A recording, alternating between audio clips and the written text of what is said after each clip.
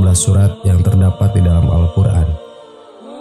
Surat ini termasuk surat Makiyah karena diturunkan di Mekah saat Nabi sebelum hijrah ke Madinah.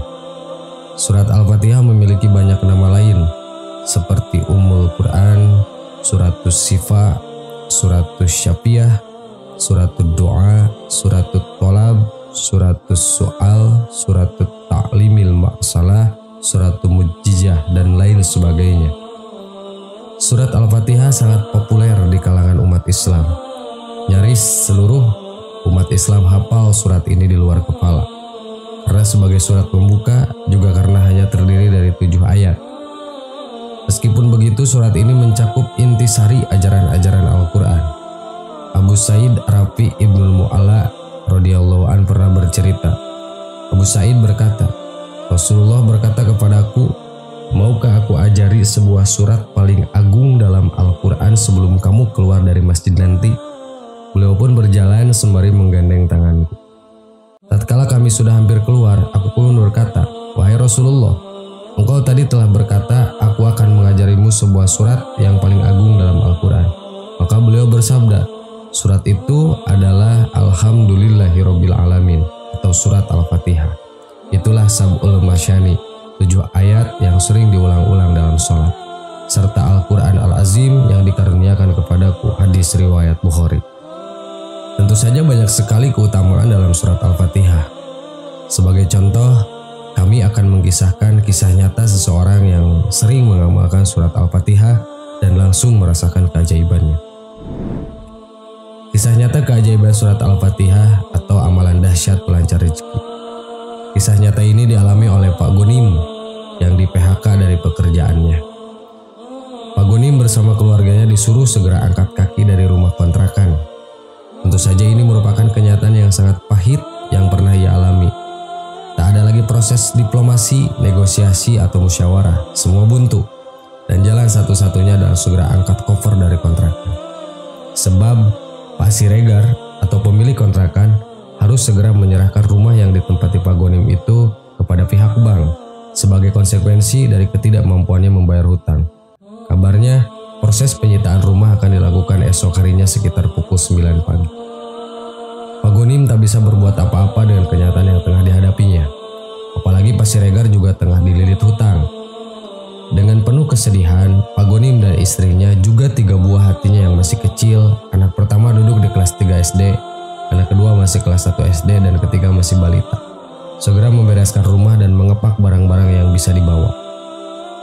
Jika keesokan harinya belum ditemukan jalan keluar, Pak Gonim sudah merencanakan barang-barang tersebut akan dititipkan pada tetangga untuk beberapa hari sebelum diangkut ke rumah orang tua istrinya di luar kota.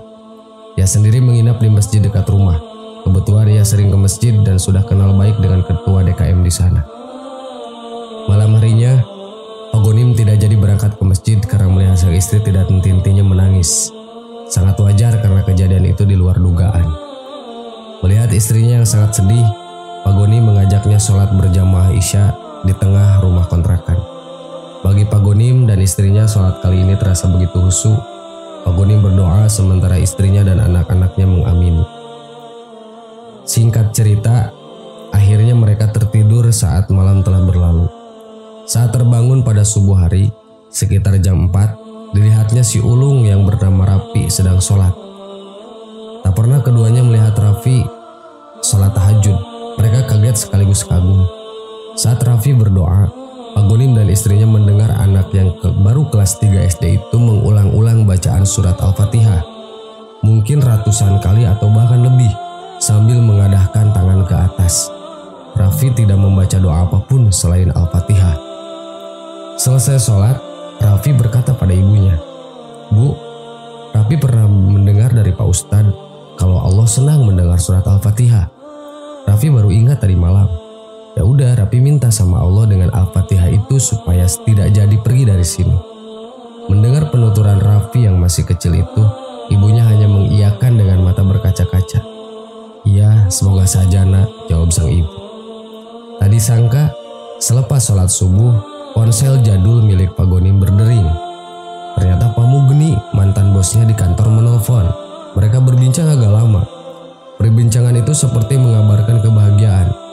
Itu terlihat dari perubahan air muka Pak Gonim yang tadinya kuyu menjadi cerah kembali penuh cahaya kebahagiaan. Setelah lama bincang-bincang dengan Pak Mugni, Pak Gonim segera menghampiri istri dan anak-anaknya. Ia pun merangkul Raffi dengan mata berkaca-kaca.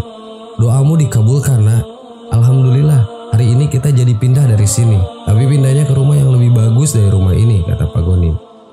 Mantan bosnya yang bernama Pak Mugni itu menawarkan pekerjaan baru, yaitu mengurus salah satu villa miliknya yang baru direnovasi. Villa itu terbilang mewah, luas, dan letaknya sangat strategis. Ketika Pak Gonim mengungkapkan kondisi yang tengah dialaminya, mantan bosnya itu langsung menyuruhnya untuk segera pindah. Sungguh sangat ajaib. Maha besar Allah dengan segala firman-Nya. Allah menolong Pak Gonim dan keluarganya lewat perantara surat Al-Fatihah. Sahabat yang beriman, itulah kehebatan surat Al-Fatihah. Allahu alam. Assalamualaikum warahmatullahi wabarakatuh.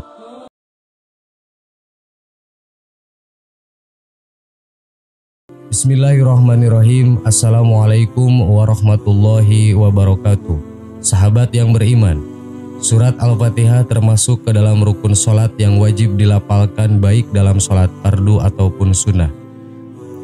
Dikatakan pula dalam sebuah hadis, jikalau seseorang tidak membaca Al-Fatihah saat solat, maka solatnya tidak sah. Diriwayatkan dari Imam Bukhari, Rasulullah Shallallahu Alaihi Wasallam bersabda, tidaklah solat bagi seseorang yang tidak membaca surat Al-Fatihah. Dalam surat Al-Fatihah ayat 7, disebutkan terdapat jalan yang diridhoi dan jalan yang dimurkai Allah. Siratal ladzina an'amta 'alaihim ghairil maghdubi 'alaihim waladdallin. Yaitu jalan orang-orang yang telah engkau beri nikmat kepada mereka, bukan jalan mereka yang dimurkai dan bukan pula jalan mereka yang sesat. Quran Surat Al-Fatihah ayat 7 Siapakah mereka yang diberikan nikmat oleh Allah dan siapakah mereka yang dimurkai Allah dan mereka yang sesat? Sejarah turunnya surat Al-Fatihah Surat Al-Fatihah merupakan surat pertama yang berada dalam Al-Quran. Namun meskipun terletak di awal Al-Quran, surat Al-Fatihah bukanlah surat pertama yang turun. Surat yang terdiri dari tujuh ayat ini merupakan salah satu surat Makkiyah, yakni surat yang turun ketika Nabi Muhammad SAW berada di kota Mekah Salah satu dalil penguatnya yaitu berada di surat Al-Hijr ayat 87 yang berbunyi Walaqad ataina kasaba'am minal mas'ani wal Qur'anil azim Artinya, dan sesungguhnya kami telah berikan kepadamu tujuh ayat yang dibaca berulang-ulang dan Al-Quran yang agung. Dari surat tersebut menunjukkan bahwa surat Al-Fatihah diturunkan sebelum surat Al-Hijr yang juga di Mekah. Maka dari itu surat Al-Fatihah pun juga Makkiyah. Menurut berbagai pendapat ulama bahwa surat Al-Fatihah merupakan inti dari ajaran dari Al-Quran atau disebut sebagai Umul Quran. Maka dari itu, surat ini diberikan paling awal di Al-Quran seperti yang disebutkan dalam hadis riwayat At-Tirmidzi dan Abu Hurairah sebagai berikut. Surat Alhamdulillah yaitu Al-Fatihah adalah Umul Quran, Umul Kitab, dan Asba'ul Mas'ani, hadis riwayat Tirmidzi dari Abi Hurairah. Selain itu dari Abu Sa'id Rafi bin Al-Mu'alla radhiyallahu anhu berkata, Rasulullah Shallallahu alaihi wasallam berkata padaku, "Maukah aku ajarkan engkau surat yang paling mulia dalam Al-Qur'an sebelum engkau keluar masjid?" Lalu beliau memegang tanganku, maka ketika kami hendak keluar, aku berkata, "Wahai Rasulullah, sesungguhnya engkau mengatakan aku akan mengajarkanmu surat yang paling agung dalam Al-Qur'an." Beliau menjawab, "Alhamdulillahirabbil alamin." Segala puji bagi Allah Rabb semesta alam dan Al-Quranil Azim, Al-Quran yang mulia yang telah diberikan kepadaku. Hadis riwayat Bukhari. Dari penjelasan turunnya surat Al-Fatihah ini menjadi bukti akan agungnya surat tersebut sehingga sampai dijadikan rukun dalam sholat. Dalam surat Al-Fatihah ayat 7 yang berbunyi, Siratal ladzina an'amta alaihim ghairil maghdubi alaihim waladdallin. Artinya, yaitu jalan orang-orang yang telah engkau beri nikmat kepada mereka, bukan jalan mereka yang dimurkai dan bukan pula jalan mereka yang sesat. Ayat ini memperjelas bahwasannya makna orang yang dianjurkan dalam meminta jalan yang Allah Subhanahu wa taala beri nikmat kepada mereka di dalamnya dan untuk dihindarkan dari jalan yang dimurkai Allah di dalamnya juga. Yang dimaksud orang yang sesat merupakan orang yang sebenarnya mempunyai hati yang lembut dan masih bisa diajak kembali dalam ajalan yang benar. Sementara orang yang dimurkai Allah adalah orang-orang yang tahu akan kebenaran namun tidak mengikuti kebenaran tersebut.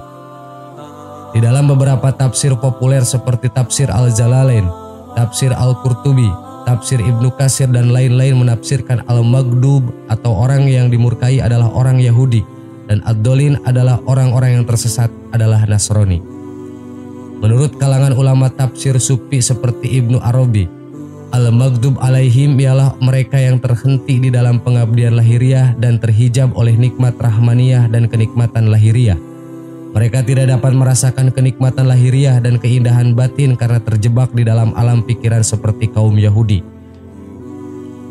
Sedangkan yang dimaksud ad-dolin yaitu mereka yang terjebak di dalam pengabdian yang bersifat serba kebatinan yang sesungguhnya tidak lain adalah juga menghijab dirinya dengan Tuhan. Mereka juga tidak bisa merasakan kebahagiaan dan kedamaian paripurna karena terlalu berorientasi kepada substansi batiniah seperti halnya orang-orang Nasrani. Surat Al-Fatihah juga mempunyai kedahsyatan.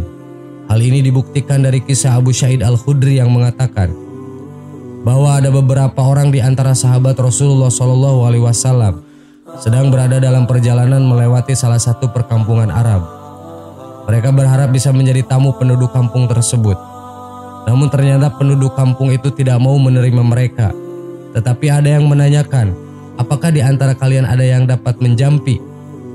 Karena kepala kampung terkena sengatan atau terluka. Seseorang dari sahabat itu menjawab, ya ada. Orang itu lalu mendatangi kepala kampung dan menjampinya dengan surat Al-Fatihah. Ternyata kepala kampung itu sembuh dan diberikanlah kepadanya beberapa ekor kambing. Sahabat itu menolak untuk menerimanya dan berkata, Aku akan menanyakannya dulu kepada Nabi Muhammad SAW. Dia berkata, Ya Rasulullah, demi Allah aku hanya menjampi dengan Al-Fatihah. Mendengar penuturan itu, Rasulullah tersenyum dan bersabda, Tahukah kamu bahwa Al-Fatihah itu merupakan jampi? Kemudian beliau melanjutkan, Ambillah imbalan dari mereka dan sisihkanlah bagianku bersama kalian Hadis riwayat Bukhari. Sahabat yang beriman, demikianlah penjelasan dari Ummul Quran atau surat Al-Fatihah. Semoga bermanfaat dan menambah ilmu untuk kita semua. Amin. Allahu alam. Wassalamualaikum warahmatullahi wabarakatuh.